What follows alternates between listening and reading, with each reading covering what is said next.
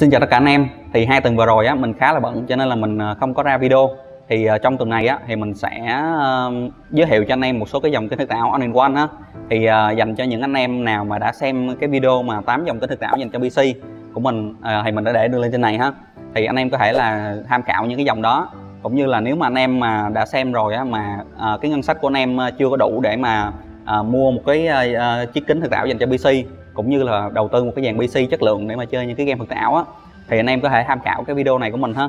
Thì mình sẽ giới thiệu cho anh em những cái dòng on in one uh, tốt nhất hiện tại uh, với cái mức giá phù hợp uh, với ngân sách của anh em cũng như là với cái cái nhu cầu uh, chơi game của anh em hiện tại ha. Và mình sẽ so sánh cấu hình của từng cái cái cái dòng kính đó với nhau để cho anh em dễ dàng tham khảo về cái thông số ha. Ok bây giờ mời anh em cùng xem video.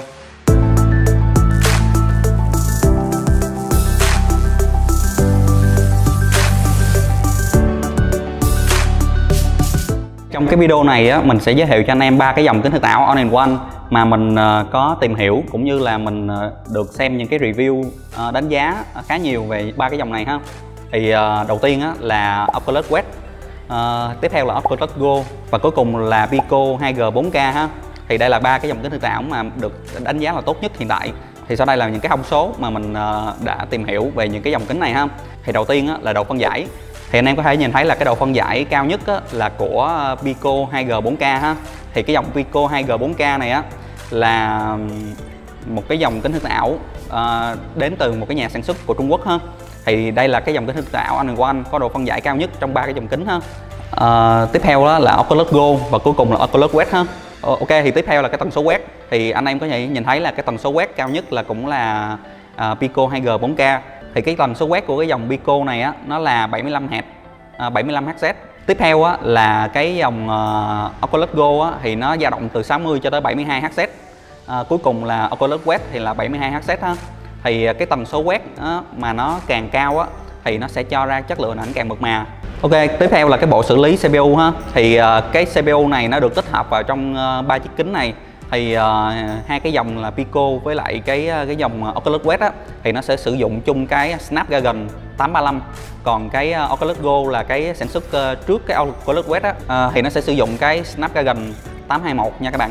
Về cái trọng lượng của ba cái dòng này á thì uh, uh, nhẹ nhất á, là cũng là cái dòng Pico. uh, tiếp theo là Oculus Quest và cuối cùng là Oculus Go.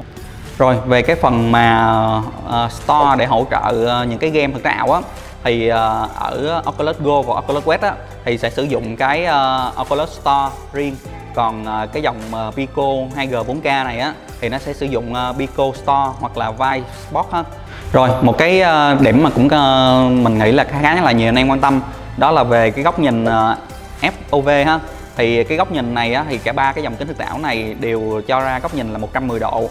Thì đây là một cái góc nhìn được xem là phổ biến của những cái dòng kính thực tảo hiện tại ha. Ok thì tiếp theo là cái khả năng điều chỉnh ờ, IPD ha thì mình thấy là Oculus Quest á, thì nó có khả năng điều chỉnh ờ, cái ờ, khoảng cách giữa hai ống kính còn uh, Oculus Go và cái Pico á, thì nó sẽ không có thể điều chỉnh cái khoảng cách giữa hai kính ha. Rồi tiếp theo là cái phần uh, tracking ha. Thì tracking là cái cái phần mà cảm biến để mà nó nó quét những cái hành động của các bạn khi mà các bạn uh, cái, di chuyển á. Thì uh, ở Oculus Quest á thì nó sẽ có 6 cái điểm mà để các bạn uh, để để nó quét cái hành động của các bạn. Còn lại Oculus Go và cái uh, Pico thì nó sẽ chỉ là ba cái uh, cái uh, cái uh, điểm mà để cái nó quét cái hành động của các bạn thôi tiếp theo là về cái controller điều khiển á, thì ờ, ở Oculus Quest á, thì nó sẽ hỗ trợ hai controller. À, còn à, lại là Oculus Go và cái um, uh, Pico á, thì nó sẽ chỉ có một cái uh, cái controller thôi. Cuối cùng là về cái mức giá thì như các bạn có nhìn thấy á, thì uh, mức giá của cái Oculus Quest là vẫn là cái uh, dòng sản phẩm cao có mức giá cao nhất.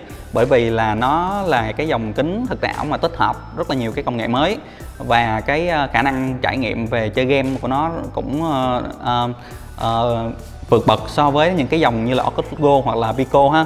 Thì các bạn có thể tham khảo cái mức giá này để mà đưa ra cái quyết định xem là các bạn có thể đầu nên đầu tư cái dòng kính nào à, để phù hợp với lại cái nhu cầu của các bạn. Ví dụ như là các bạn à, chỉ đơn thuần là muốn mua về để mà trải nghiệm về uh, xem phim thì uh, các bạn có thể là các bạn lựa chọn cái uh, Oculus Go hoặc là Pico bởi vì nó có độ phân giải cao hơn còn nếu mà các bạn nghiêng về cái phần mà các bạn muốn chơi game á, thì các bạn có thể là lựa chọn Oculus Quest bởi vì là nó có hỗ trợ về cái phần chơi game. À, nó nó nó nó vượt bậc so với lại hai cái dòng kính kia ha. Đó là tất cả những cái phân tích của mình à, gửi đến các bạn ha. Thì à, các bạn có thể tham khảo cái à, những cái thông số này của mình để mà đưa ra được cái quyết định là xem là nên mua những cái dòng kính thực ảo nào à, on one nào phù hợp với là cái ngân sách cũng như là cái nhu cầu của các bạn ha thì mình nghĩ là so với lại việc là các bạn đầu tư một cái dòng kính thực ảo cho PC á uh, thì các bạn cần phải uh, tốn kém về cái phần là đầu tư về kính thực ảo này về uh, một cái dàn PC uh, tốt này uh, để mà có thể là trải nghiệm được những game thực ảo á. Uh, các bạn có thể là cân nhắc những cái dòng kính thực ảo One One này để mà tiết kiệm được cái ngân sách của mình ha. Thì thêm một cái ưu điểm mà mình thấy ở dòng những cái dòng on one á là các bạn có thể là các bạn có thể mang đi bất cứ nơi nào mà các bạn muốn thì ờ, nó có thể dễ dàng di chuyển mà các bạn không cần phải ờ, phải uh, tốn quá nhiều về cái việc là setup uh, một cái nơi để mà các bạn uh, chơi game thực ảo ha. Ví dụ như là kính uh, những cái dòng cho PC á, thì uh, nó uh, nghiêng về cái uh, cái cái uh, cái cố định nhiều hơn uh, là cái việc là di chuyển ha. Uh, thì uh, đó là tất cả những gì mà mình muốn chia sẻ đến các bạn. Thì nếu các mà các bạn có bất kỳ thắc mắc nào á thì ba các bạn có thể là comment ở phía bên dưới ha. Mình sẽ hỗ trợ trả lời các bạn trong thời gian sớm nhất. Ờ, đừng quên đăng ký kênh của mình để theo dõi những video ha. Bây giờ thì mình xin chào và hẹn gặp lại các bạn.